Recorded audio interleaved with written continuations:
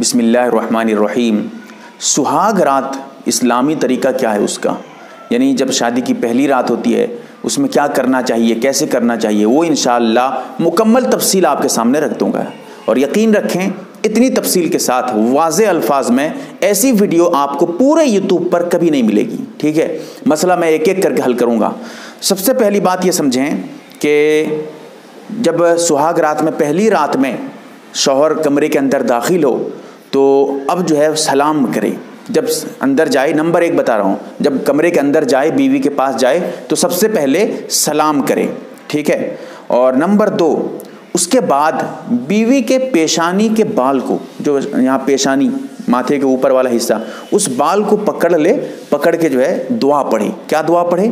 دعا مختصر حدیث میں آئی ہے، بسم اللہ الرحمن الرحیم، اللہم انی اسألو کا خیرہا۔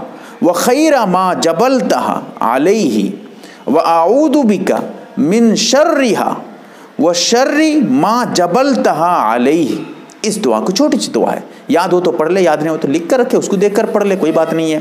نمبر تین، اس کے بعد وضو وغیرہ ہو تو وضو ٹھیک ہے۔ اگر وضو نہیں ہے تو وضو وغیرہ کر لے۔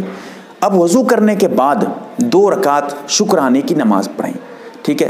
اللہ کا شکر ادا کرنے کے لیے نماز پڑھیں۔ اس کے بعد دعا کریں کہ یا اللہ ہماری زندگی میں جو ہے پریشانی کو دور کر دے اور ہمیں جو ہے آپس میں آپس میں، میاں بیوی میں دونوں دعا کریں کہ محبت عطا فرما، ہمیں جو ہے نیک اولاد عطا فرما، اس طرح اس طرح کر کے دعا کریں۔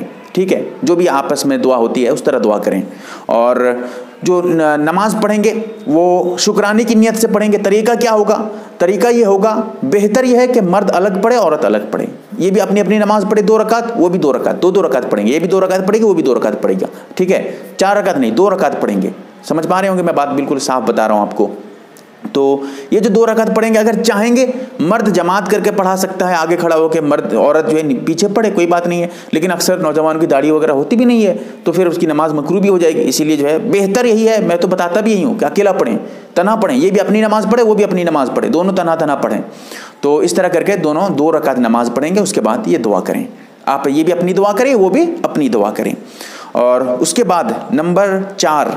پہلی رات میں جمع کرنا، بیوی سے ہم بستری کرنا کوئی واجب اور ضروری نہیں ہے۔ کچھ لوگوں کا یہ سمجھنا ہے، اگر جمع نہیں کریں گے تو گناہ ہے، بیوی حرام ہو جاتی ہے یا پھر جو ہے ولیمے کا کھانا حرام ہو جاتا ہے۔ اس طرح اس طرح کا سب غلط باتیں ہیں۔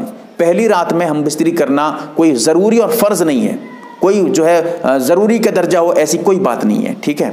اور نمبر پانچ، یہ سمجھیے گا، اگر بیوی کو رغبت ہے اندازہ کریں۔ ایسے تو نہیں ہے کہ بیوی پہلی رات میں کھلے عام کہے گی ہاں ہم بستری کریں گے۔ اندازہ کریں، غور کریں۔ اگر واقعتاً جو ہے، محسوس ہو کہ ہم بستری کرنے میں اس کو کوئی پریشانی نہیں ہوگی، وہ بھی جو ہے، ہم بستری کرنے کی طرف رغبت رکھتی ہے، تو پھر آپ ہم بستری کر لیں۔ کوئی بات نہیں، اور کرنا چاہیے ایسی صورت میں، ٹھیک ہے؟ لیکن اگر اس کی رغبت نہیں ہے، اور وہ جو ہے مطلب اب دیکھ رہے ہیں کہ موڈ نہیں ہے ہم بستری کرنے کا اس کا، کیونکہ وہ ماں باپ کو چھوڑ کے آئی ہے۔ سمجھیے گا بات میں کیا کہنا چاہتا ہوں۔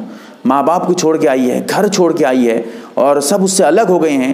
اس کا دل تھوڑی نا یہاں بھی لگے گا۔ پہلی رات ہے، اس کا دل جو ہے ادھر لگا ہوگا، اس کا دماغ کہیں اور گھوم رہا ہوگا۔ ایسی صورت میں آپ اگر دیکھ رہے ہیں کہ رغبت نہیں ہے یا اس کی طبیعت سے ہی نہیں ہے، نکاح کی وجہ سے ڈر کر جو اسے بخار وغیرہ ہو گئی ہے۔ ہم استری نہ کریں، چھوڑ دیں۔ ٹھیک ہے، اگر رغبت ہے تو کریں ضرور، ورنہ پھر نہ کریں۔ دیکھیے، اگر زبردستی ہم بستری، کوئی رغبت نہیں ہے، زبردستی ہم بستری کر رہے ہیں۔ پہلی رات میں، اب ایک پوائنٹ کی بات بتاتا ہوں۔ اب عورت کے دماغ میں یہ بات بیٹھ جائے گی کہ اچھا یہ مرد نکاح کرتے اسی لیے ہیں تاکہ ہم بستری کریں، جمع کریں، اسی لیے ہی نکاح کر رہے ہیں یہ۔ پہلی رات میں اس کے دماغ میں یہ بات بیٹھ جائے گی۔ اگر رغبت اس کی طرف سے بھی ہے تو پھر اس طرح کی بات اس کے دماغ میں نہیں آئے گی۔ تو یہ ایک مطلب سمجھنے کی بات ہے، ٹھیک ہے؟ نمبر چھ، جب جمع کریں گے ایک تو جمع کی بات میں نے بتا دی ہے۔ اگر جمع کریں گے تو اس وقت ایک دعا ہے، وہ دعا پڑھیں۔ کیا دعا؟ بسم اللہ، اللہم جنبنا الشیطان و جنب الشیطان ما رزقتنا۔ ٹھیک ہے؟ تو اس دعا کو پڑھیں۔ اگر کپڑے ابھی سطر وغیرہ جو ہے کھلا ہوا نہیں ہے، تو زبانی پڑھ لیں، کوئی بات نہیں۔ اگر کپڑے اتار چکے ہیں، تو اب اس صورت میں دل ہی دل میں پڑھیں، زبان سے اس دعا کو نیپ پڑھیں۔ اب اس کے بعد جو ہے، اس دعا کو مرد بھی پڑھے، بیوی بھی پڑھے اور شوہر بھی پڑھیں، دونوں پڑھیں۔ ٹھیک ہے؟ اور جب جمع کریں، اس وقت یہ خیال رکھیں، قبلے کی طرف منہ نہ ہو، قبلے کی طرف چہرہ کر کے جمع نہ کریں، قبلے کی طرف پیر بھی کر کے جمع نہ کریں، ٹھیک ہے؟ اور اس کے ساتھ ساتھ یہ بھی یاد رکھیں، مکمل کپڑے اتار کر جمع نہ کریں۔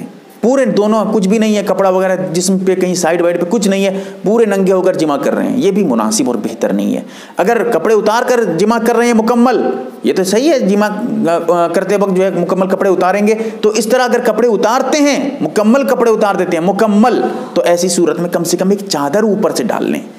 اوپر سے ایک چادر ڈال لیں، اوڑھ لیں، پھر اس کے بعد جمع کریں۔ یہ مناسب ہے۔ ورنہ جائز ہونے کی بات ہے تو جائز ہے۔ مکمل کپڑے اتار کر ہم بستری کرنا، یہ جائز ہے، کوئی گناہ نہیں ہے۔ دونوں آپس میں میاں بیوی ہیں، اپنا جسم دیکھ سکتے ہیں، کوئی بات نہیں ہے۔ لیکن کم سے کم چادر اوڑھ لینا اوپر سے، یہ مناسب اور بہتر ہونے کی بات ہے۔ ٹھیک ہے؟ اور اس کے ساتھ جو ہے، پہلی رات میں جو بات چیت ہوئی ہو، جو میاں بیوی میں آپس میں بات ہوتی ہے، ایک دوسرے کو بتانا۔ شوہر جا کے اپنے دوستوں کو بتا رہا ہے اور یہ اپنی سہیلیوں کو بتا رہی ہے۔ سب حرام ہے، حرام، یاد رکھیے گا۔ گناہ کبیرہ ہے، سخت گناہ ہے۔ اگر اس طرح کی باتیں پہلی رات میں کیا ہوا نہیں ہوا، اس کو اس کو بتاتے رہنا۔ گناہ کبیرہ ہے، گناہ کبیرہ۔ آج کل یہ عام ہو رہی ہے۔ آ جاتی ہیں صبح صبح سہیلیاں پوچھنے کے لیے، کیا ہوا رات میں؟ اب وہ قصہ کہانی شروع۔ بالکل حرام، گناہ کبیرہ ہے، یاد رکھ لیجیے، میں صاف صاف بتاتا ہوں آپ کو۔ اور اسی طرح یہ بھی سمجھیں کہ جب جمع کرنا جائے شوہر مہر جو رکھا گیا وہ مہر کم سے کم ادا کر دیں مہر ادا کرنے کے بعد ہم بستری کریں یہ اس کے لیے مناسب۔ اگر مہر کی بات ہوئی کہ بعد میں دے گا تو بعد میں بھی دے بھی سکتا ہے، کوئی بات نہیں ہے۔ لیکن مہر جتنے جلد ہو سکے دینے کی کوشش کریں۔ اور بہتر یہی ہے کہ ہم بستری سے پہلے مہر ادا کر دیں، ٹھیک ہے؟ اور اگر مہر بعد میں دے گا، ابھی نہیں دے رہا ہے، تو ایسی صورت میں کم سے کم کوئی ہدیہ وغیرہ، کوئی تحفہ وغیرہ بیوی کو اس وقت، اس رات میں دے دے کم سے کم، خوش کرنے کے لیے اس کو، ٹھیک ہے؟